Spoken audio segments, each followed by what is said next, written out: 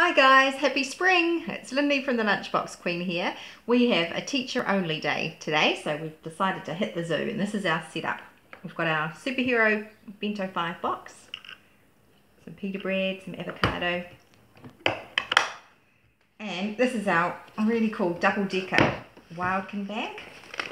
It fits bento 3s, bento 5s, fits standard size Yumboxes. And then in the top, there's still heaps of room for a snack box and a drink bottle. So that's us, all set for today at the zoo.